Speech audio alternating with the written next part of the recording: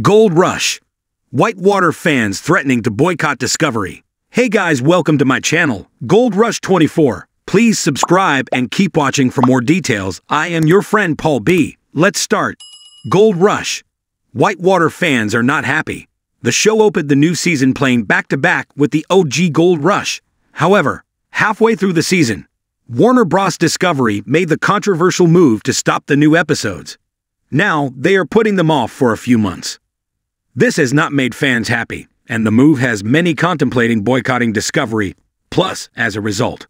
Why did Discovery put Gold Rush? Whitewater on hiatus? The news that Discovery suddenly put Gold Rush, Whitewater on hiatus in the middle of the season came when producer Tim Dalby announced it on social media.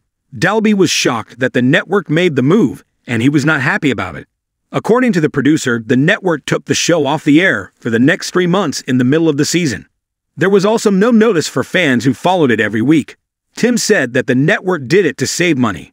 Even though the show is already paid for and finished, it just has to air.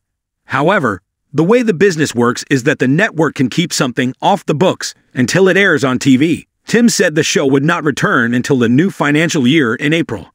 It seems like another way that Warner Bros. Discovery has played with its financials for tax purposes. They also canceled a completed movie and cannot release it ever now because they used it as a tax write-off. That movie was a DC Comics release in Batgirl. While they might be saving some money on taxes as they get finances in order, fans are not happy about it. Fans threatened to boycott Discovery Plus. When it comes to the fans, saving money and putting a show on hiatus in the middle of the season was insulting to the fans. Warner Disney are greedy corporate profiteering scum, and this proves it. They care only about their money, not the artist, actors, workers, or audience. One fan wrote in response to the news. Tim mentioned himself, saying that the series has been rating well again, and this rather short sighted move will obviously harm that.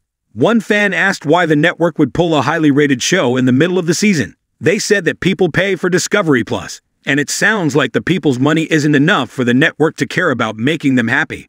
Some fans believe that this season of Gold Rush, Whitewater was better than Gold Rush, and now they have to wait to continue the story for months.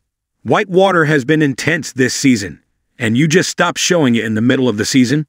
One fan complained, makes me not want to invest my time in Discovery shows ever again. Another fan mentioned that when it comes to companies like Warner Bros. Discovery, they don't care about anything but the bottom line. More so, they have no care at all for the fans who pay money for their service. Finally, one fan put bluntly and clearly You don't cut a program mid season and leave your viewers hanging. They wrote, What's next? Charge us extra to watch on Plus. Ignore the viewers and soon they will ignore you. Are you angry about Gold Rush? Whitewater going on hiatus in the middle of the season. Would you consider a boycott of Discovery Plus? Let us know your thoughts in the comments below. Thanks for watching this video. Please subscribe to our channel Gold Rush 24 and stay with USA.